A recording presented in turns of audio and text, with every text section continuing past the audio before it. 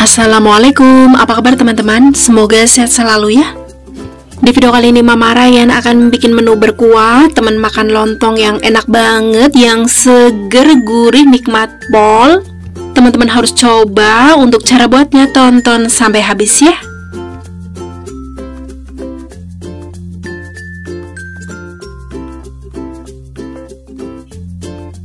Pertama saya siapkan kikil, saya pakai kikil sapi bagian kepala jadi tebal-tebal ya. Boleh pakai kikil bagian badan atau kulit, boleh juga pakai kikil bagian kaki. Kemudian potong-potong kikil, saya akan buang dulu dalamnya atau bagian tengahnya seperti ini. Karena menurut saya kikil bagian kepala yang bikin bau banget di bagian ini saya akan buang dan tentunya kikil jadi lebih bersih ya. Lanjut potong-potong, saya potong dadu sedang seperti ini atau potong sesuai selera teman-teman.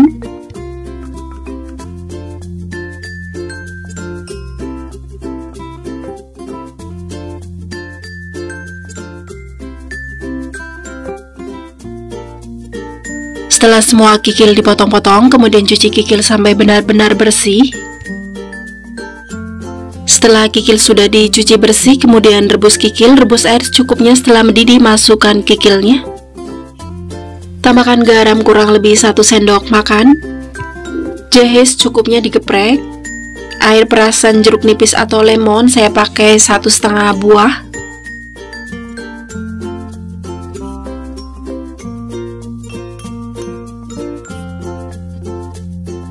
Aduk-aduk ratakan sampai semua tercampur rata Kemudian rebus kikil kurang lebih 15 menit Dihitung dari air mendidih Atau tergantung dari ketebalan kikil atau kerasnya kikil Karena kikil bagian kepala ada yang keras dan ada juga yang empuk.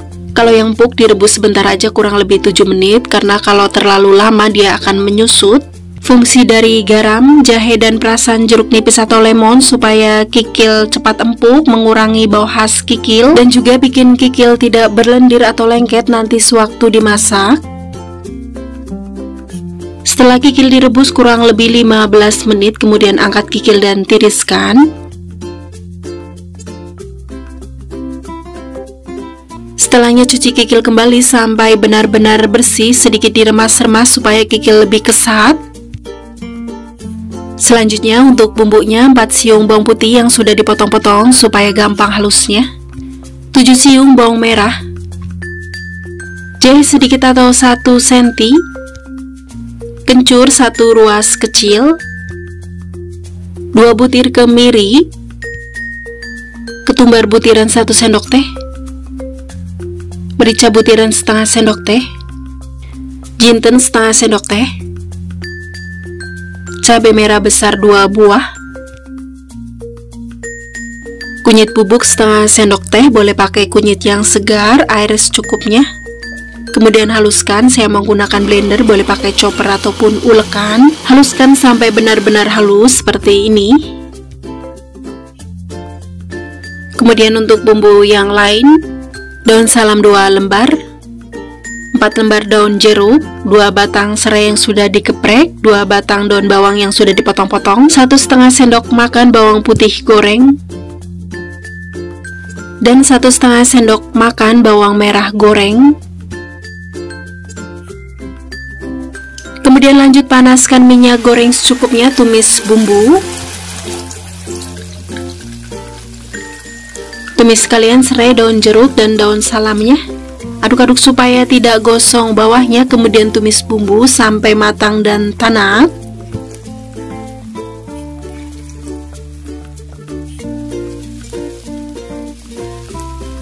Setelah bumbu matang dan tanah, kemudian masukkan kikilnya yang sudah dicuci kembali sampai bersih. Aduk-aduk oseng-oseng dulu sebentar kurang lebih 1 atau 2 menit.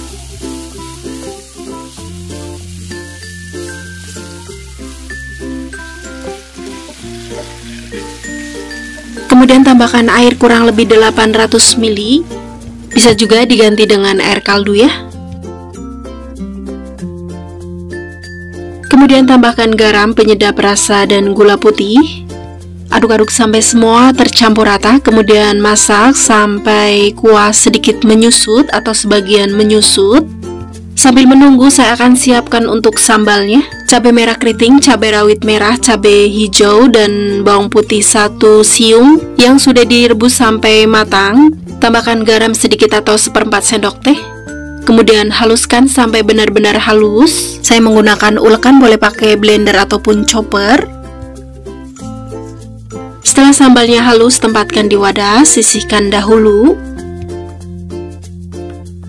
Setelah kuah sedikit menyusut atau sebagian menyusut, masukkan daun bawang, bawang putih goreng, bawang merah goreng, aduk-aduk masak sebentar, cukup sampai daun bawang sedikit layu.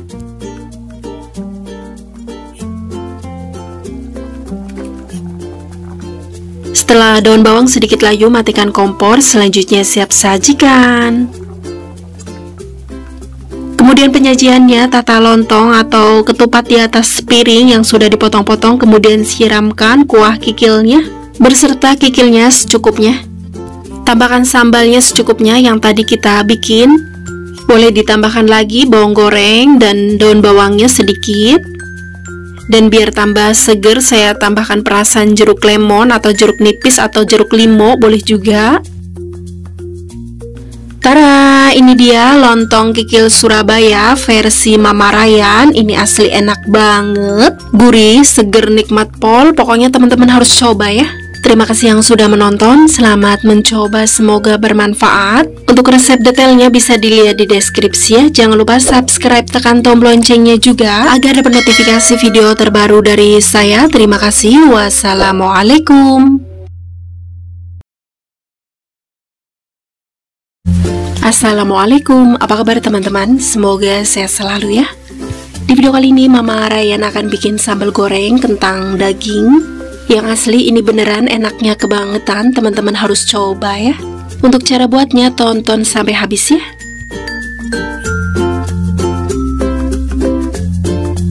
Untuk bahannya pertama saya siapkan kentang sebanyak 600 gram. Sudah dikupas dan dipotong dadu seperti ini untuk bahan kedua, daging sapi yang sudah direbus dan dipotong dadu sebanyak setengah kilo atau 500 gram. Bisa diganti dengan hati ampla ayam atau hati sapi, boleh juga ya. Saya tambahkan pete, dua papan yang sudah dikupas dan dibelah. Untuk teman-teman yang tidak suka pete, bisa di skip ya. Selanjutnya untuk bumbunya, 5 siung bawang putih yang sudah dipotong-potong supaya gampang halusnya. Bawang merah 10 siung, jahe sedikit atau 1 cm atau 1 jempol ibu jari, kemiri 3 butir, merica butiran setengah sendok teh, pala yang sudah diparut kurang lebih setengah sendok teh, cabai merah keriting 150 gram, boleh pakai cabai merah besar ya. Tambahkan air secukupnya atau minyak goreng supaya gampang halusnya, kemudian haluskan. Saya menggunakan blender, boleh pakai chopper ataupun ulekan, haluskan sampai benar-benar halus seperti ini. Kemudian untuk bumbu lainnya, santan instan 1 bungkus kemasan 65 ml, jahe secukupnya digeprek, serai satu batang digeprek, daun salam 3 lembar, Daun jeruk 3 lembar. Oh ya untuk santan nanti saya akan pakai setengahnya aja. Lanjut panaskan minyak goreng secukupnya Goreng kentang. Ratakan sampai semua kentang terkena minyak Kemudian goreng kentang sampai matang Sampai agak kuning kecoklatan. Tapi jangan lupa nanti sesekali dibolak-balik Supaya kentang matang merata.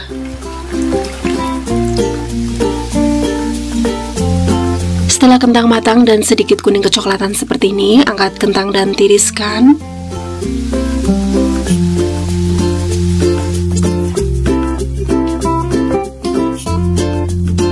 Kemudian lanjut tumis bumbu dengan minyak goreng secukupnya. Tumis kalian daun salam, daun jeruk, serai dan lengkuasnya. Aduk-aduk supaya tidak gosong bawahnya, kemudian tumis bumbu sampai matang dan tanak.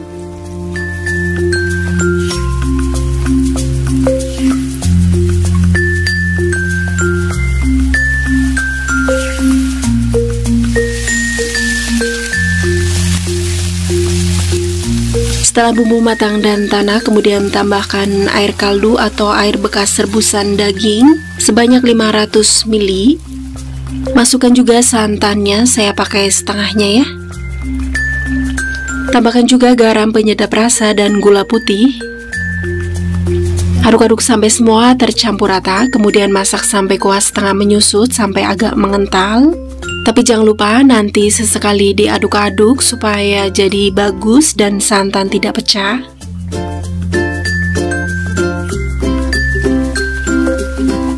Setelah kuah setengah menyusut dan jadi mengental seperti ini, kemudian masukkan dagingnya. Aduk-aduk masak dulu sebentar supaya bumbu meresap ke daging kurang lebih 2 atau 3 menit.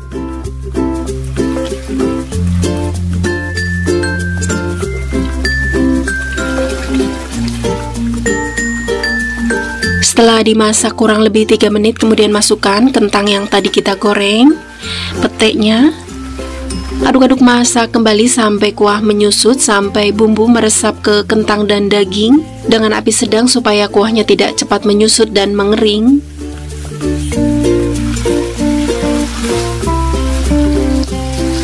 Setelah kuah menyusut, bumbu meresap ke kentang dan daging, matikan kompor. Ini sudah matang, selanjutnya siap sajikan. Tara, ini dia sambal goreng kentang daging versi Mama Ryan yang asli enak banget.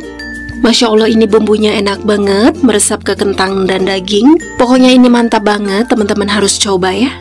Terima kasih yang sudah menonton, selamat mencoba, semoga bermanfaat. Untuk resep detailnya bisa dilihat di deskripsi ya. Assalamualaikum, apa kabar teman-teman? Semoga sehat selalu ya. Di video kali ini Mama Ryan akan bikin menu berkuah teman makan lontong atau ketupat lebaran. Menu yang selalu saya bikin di setiap lebaran dan jadi favorit keluarga karena rasanya yang terlalu enak. Insya Allah kalau teman-teman sudah coba ini pasti suka untuk cara buatnya. Tonton sampai habis ya. Untuk bahannya pertama, siapkan nangka muda yang sudah dikupas dan dipotong-potong dan juga sudah dicuci bersih. Sebanyak kurang lebih 700 gram. Bahan kedua, daging tetelan sapi sebanyak 500 gram sudah direbus dan dipotong-potong. Boleh diganti dengan ayam ya. Saya juga tambahkan pete satu papan yang sudah dikupas. Untuk teman-teman yang tidak suka pete bisa di skip ya atau tidak usah pakai pete juga tidak apa-apa. Kemudian rebus nangka terlebih dahulu, rebus air secukupnya setelah mendidih masukkan nangkanya. Tambahkan garam setengah sendok makan, Aduk-aduk sampai garam larut dan tercampur rata, kemudian rebus kurang lebih 10 atau 15 menit. Dihitung dari air mendidih lagi ya. Tapi jangan lupa nanti sesekali diaduk-aduk supaya nangka matang merata. Setelah direbus kurang lebih 15 menit, saya akan tes tusuk dengan garpu. Kalau sudah gampang ditusuk seperti ini, berarti ini sudah matang dan empuk. Oh ya jangan terlalu empuk juga ya karena nanti juga akan dimasak lagi. Selanjutnya angkat dan tiriskan dan ditempatkan di wadah seperti ini. Setelahnya selagi panas, saya akan tekan-tekan atau bejek-bejek nangkanya dengan ulekan seperti ini supaya teksturnya lebih lunak tapi tidak bikin rapuh ya. Lakukan asal aja, jangan terlalu hancur. Jadi nanti teksturnya seperti ini, tidak terlalu hancur. Selanjutnya saya akan bikin bumbunya. 5 siung bawang putih yang sudah dipotong-potong supaya gampang halusnya. 7 siung bawang merah. Jadi sedikit atau satu setengah senti. Cabai merah besar 2 buah boleh pakai cabai merah keriting ya. Kemiri 2 butir. Ketumbar butiran 1 sendok teh Udang ebi yang sudah direndam air panas sebentar ini sebanyak kurang lebih satu setengah sendok makan. Kunyit bubuk setengah sendok teh, boleh pakai kunyit yang segar ya. Air secukupnya supaya gampang halusnya. Kemudian haluskan saya menggunakan blender boleh pakai chopper ataupun ulekan. Haluskan sampai benar-benar halus seperti ini. Kemudian untuk bumbu lainnya, 2 lembar daun salam, 2 lembar daun jeruk, lengkuas cukupnya digeprek, serai satu batang digeprek, dan santan ini sebanyak kurang lebih 800 ml dari satu butir kelapa. Lanjut panaskan minyak goreng secukupnya tumis bumbu. Tumis kalian bumbu rempah-rempahnya. Aduk-aduk supaya tidak gosong bawahnya, kemudian tumis bumbu sampai matang dan tanak.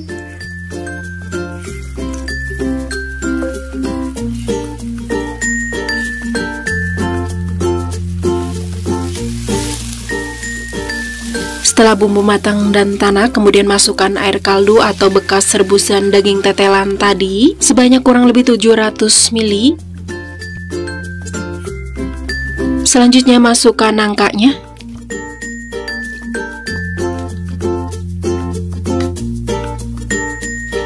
Dan juga masukkan daging tetelannya.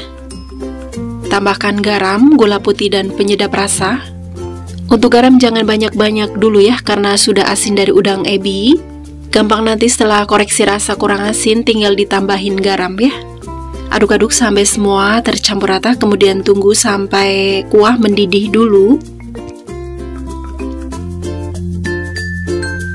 Setelah mendidih masukkan santannya.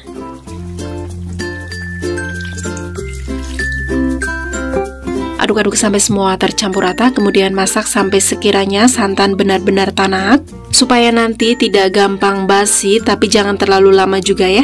Cukup kurang lebih 10 menit dihitung dari air mendidih atau kuah mendidih. Karena nangka dan dagingnya sudah matang, jadi tidak perlu dimasak terlalu lama, tapi jangan lupa nanti sesekali diaduk-aduk supaya santan tidak pecah.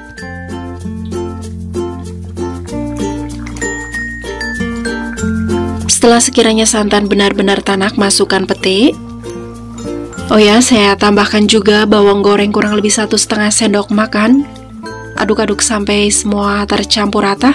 Kemudian masak sebentar, cukup sampai pete sedikit layu.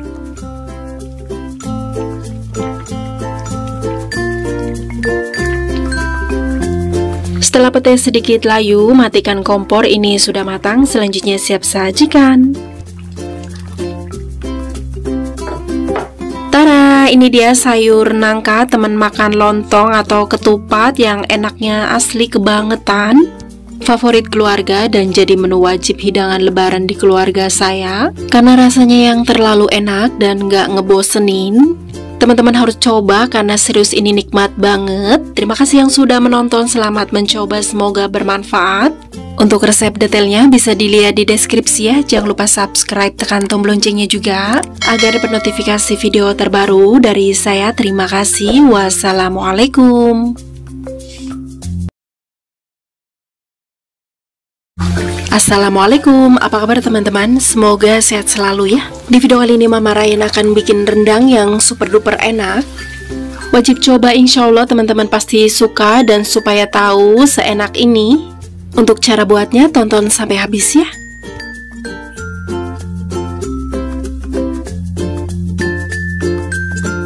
Pertama saya akan siapkan bumbunya dulu. Ini bumbu kering atau rempah-rempahnya. Ketumbar 1 setengah sendok teh Merica putih 1 sendok teh. Merica hitam atau lada hitam setengah sendok teh. Jinten 1 sendok teh. Kapulaga 4 butir.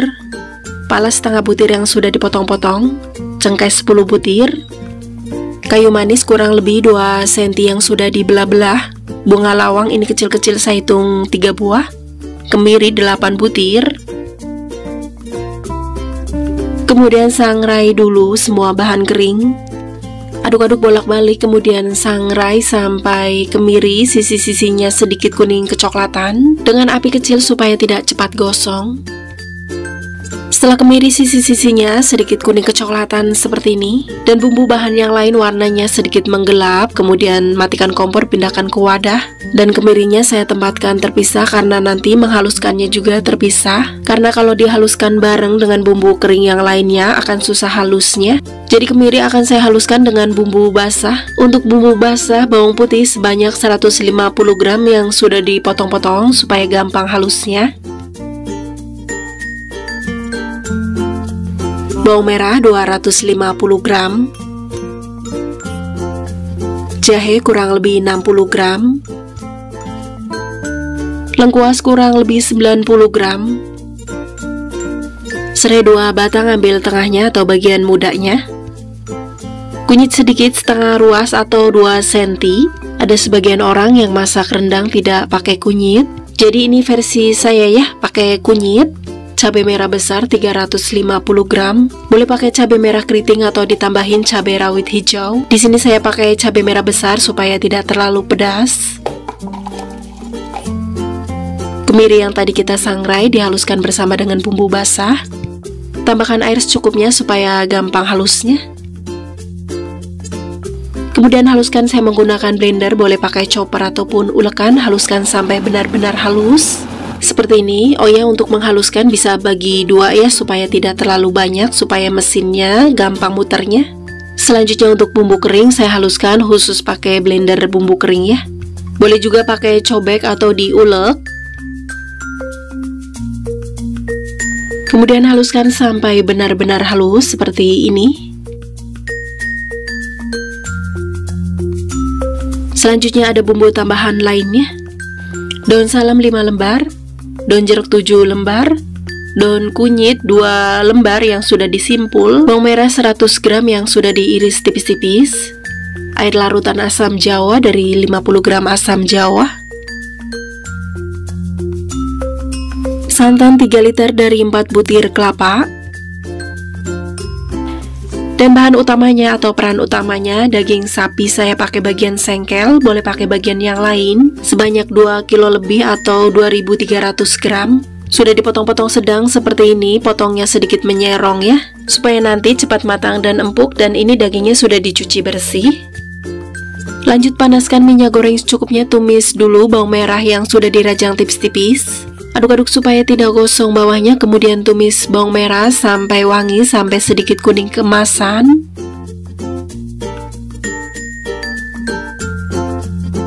Setelah bawang merah wangi dan sedikit kuning kemasan, kemudian masukkan bumbu halusnya. Untuk memasak rendang, saya pakai versi yang bumbunya ditumis dulu. Boleh juga pakai versi yang bumbunya tidak usah ditumis, langsung masuk-masuk semua bahannya.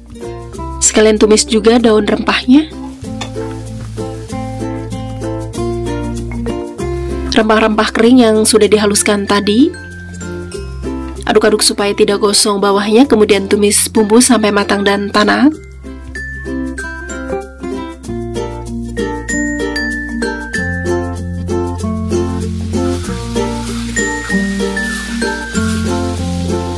Setelah bumbu matang, masukkan dagingnya. Aduk-aduk oseng-oseng dulu sampai daging sedikit kaku.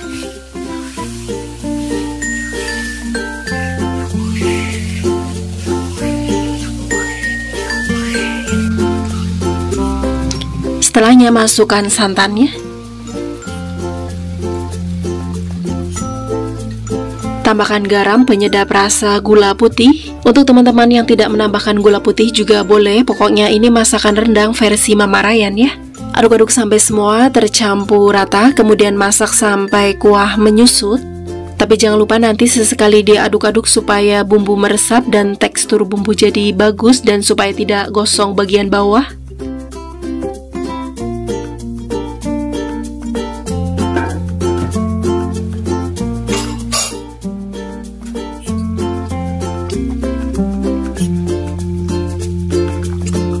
Setelah kuah setengah menyusut seperti ini, kemudian masukkan air asam jawa. Oh ya teman-teman, tadi saya juga menambahkan kelapa gongseng atau ambu-ambu. Kurang lebih tiga setengah sendok makan, cuma tadi ternyata kameranya tidak nyala. Kelapa gongseng atau ambu-ambu terbuat dari kelapa yang diparut, terus disangrai setelah kering sampai kecoklatan, kemudian haluskan sampai benar-benar halus sampai dia mengeluarkan minyak. Tapi kalau teman-teman tidak ingin repot, di pasar juga banyak yang jual ya. Setelah diaduk-aduk sampai semua tercampur rata, kemudian lanjut masak kembali sampai kuah menyusut, sampai daging matang dan empuk. Tapi jangan lupa sesekali diaduk-aduk supaya bumbu meresap rata. Ini kuahnya sudah menyusut, saya bikin nyemek-nyemek tidak terlalu kering karena saya suka rendang yang seperti ini. Kemudian matikan kompor, selanjutnya siap sajikan. Tara, ini dia rendang versi Mama Ryan. Ini asli enak banget. Bumbunya meresap, dagingnya empuk, semua rendang pasti enak ya, tapi ini enaknya kebangetan. Teman-teman harus coba, insya Allah teman-teman pasti suka. Terima kasih yang sudah menonton, selamat mencoba, semoga bermanfaat. Untuk resep detailnya bisa dilihat di deskripsi ya. Jangan lupa subscribe, tekan tombol loncengnya juga agar dapat notifikasi video terbaru dari saya. Terima kasih. Wassalamualaikum. Assalamualaikum, apa kabar teman-teman? Semoga sehat selalu ya. Di video kali ini Mama Ryan akan bikin opor yang super nikmat. Kalau teman-teman ingin bikin opor yang enaknya nggak ketolongan Yang enaknya tidak umum di atas rata-rata Wajib coba resep ini karena serius ini enaknya kebangetan. Untuk cara buatnya tonton sampai habis ya.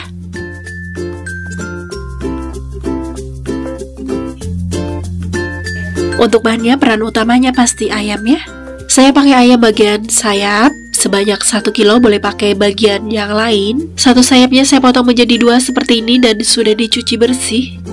Kemudian ayamnya saya akan rebus terlebih dahulu, rebus air secukupnya setelah mendidih, masukkan ayamnya. Maaf ya teman-teman, saya lagi flu jadi suaranya agak sumbang seperti ini. Tambahkan garam setengah sendok makan untuk mempertahankan gurih dari ayamnya.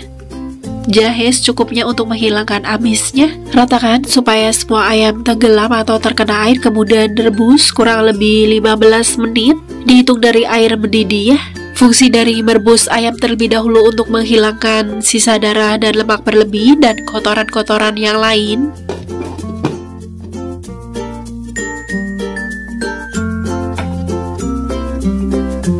Setelah direbus kurang lebih 15 menit, kemudian matikan kompor, angkat ayam dan tiriskan, dan buang airnya.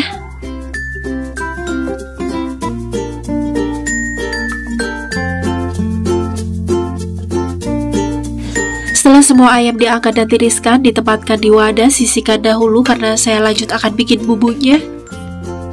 4 siung bawang putih yang sudah dipotong-potong, 6 siung bawang merah, kemiri 3 butir yang sudah disangrai. Bumbu selanjutnya yang sudah disangrai juga di antaranya ketumbar 1 sendok teh, merica setengah sendok teh, jinten setengah sendok teh. Saya campur seperti ini karena waktu mengsangrai saya jadiin satu supaya mempersingkat waktu. Jahe sedikit atau 1 cm, lengkuas sedikit 1 setengah cm, Serai sedikit atau setengah batang ambil bagian kepangkalnya atau sepanjang 6 cm. Kunyit sedikit seperempat sendok teh, saya pakai kunyit bubuk, boleh pakai kunyit yang segar ya. Tambahkan air secukupnya supaya gampang halusnya. Kemudian haluskan saya menggunakan blender, boleh pakai chopper ataupun ulekan. Haluskan sampai benar-benar halus seperti ini.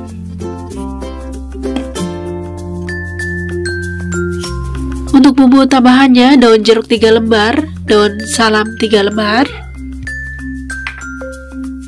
dan tidak lupa pakai santan, karena opor tambah santan, bukan opor ya.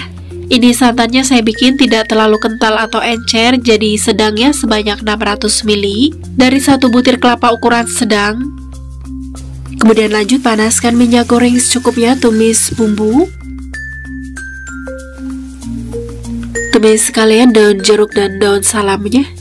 Aduk-aduk supaya tidak gosong bawahnya, kemudian tumis bumbu sampai matang dan tanak.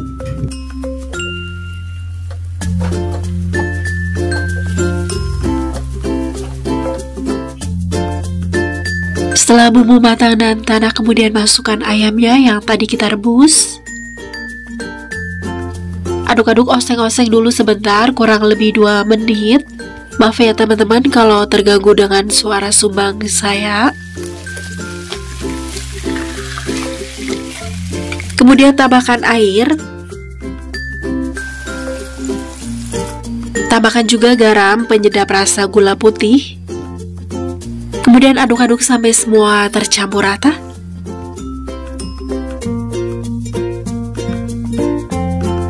Saya tambahkan air sedikit lagi, jadi total air yang saya pakai 500 ml ya. Lanjut aduk-aduk sampai semua tercampur rata, kemudian lanjut masak sampai kuah mendidih. Kemudian biarkan mendidih selama 5 atau 7 menit.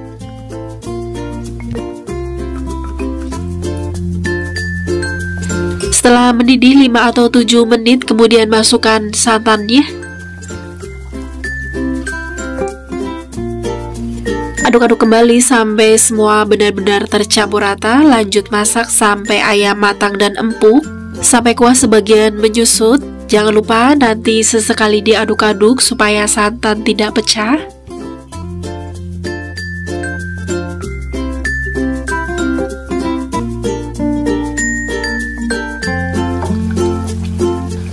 Setelah dirasa ayam matang dan empuk dan kuah sebagian menyusut, ini sudah matang, selanjutnya siap sajikan.